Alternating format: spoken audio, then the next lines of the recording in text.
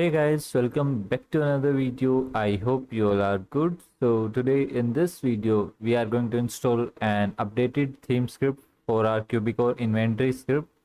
So if you are new to this channel please make sure to subscribe and hit the bell icon for the latest video update. So let's start the video. I will provide you the link in the description box. So you have to simply just go there. And right here we have our QB inventory updated theme from Caticus. So you have to simply just download it from here.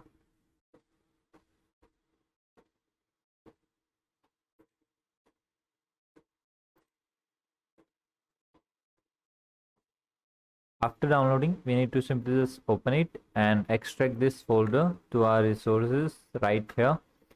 And then we can simply just open it and extract this file out of this folder and we can delete it. Now we have to extract this extract here okay so we have our QB inventory script right here. So first we need to delete the old one. That is yeah, it's right here QB inventory. And then we can simply just copy the script name and drag this folder to our QBCore qb and we can delete this zip file as well. So after doing that uh, you can simply just restart your complete server or you can either like restart this QB inventory script so as you can see right now we have this type of UI of QB inventory.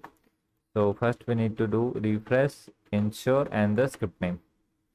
And now it will look like this. As you can see uh, the drop menu and the like main stairs of the player inventory we can see. So it will give you a look like this. Use give close and amount is right here. So you can easily change the color of this theme as well according to your server so this is how this inventory work and the look of this inventory script theme. So i hope you guys like it. And if you like it you can easily install it and use it in your server. So we will meet you in the next video. Take care. Have a good day. Love you all